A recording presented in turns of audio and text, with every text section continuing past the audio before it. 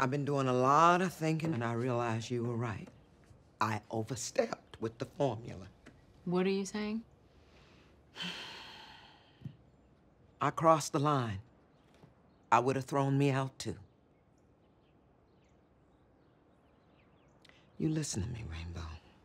You've got nothing to be ashamed of. You're a good mother. I mm, do not feel like a good mother. Well, you are. And you're not weak because you got help. I'm weak for not being there to help you get it. So I'm sorry. I'm sorry. I don't think you've ever said that before. Me neither. Wow. Well, thank you, Ruby. That means a lot to me. It really does. I hope I can earn your trust again. Oh, Ruby. I never trusted you. Smart lady. Can I have my key back?